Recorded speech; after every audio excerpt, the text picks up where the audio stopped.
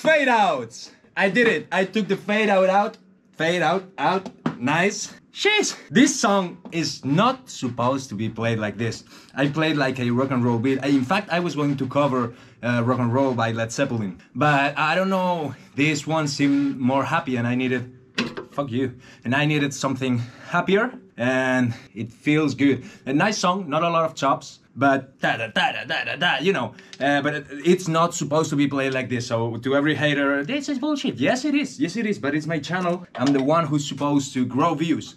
So thank you all for watching. If you want to study with me, I've got a drum academy and I've got it on my Patreon. It's cheap as fuck, so come and join the family. It's a good place to be. Also, you've got there all the drum tracks for all the covers that I do. So you've got the drums only versions, you've got lessons, and if you pay more, you can even train with me because it may not seem like it, but I am a personal trainer and I've been a personal trainer all my life. And also, we've got hats, beanies, shirts, and big hoodies. And you've got everything down there. You've got the links to everything down there. I hope this song made your day as it did with me.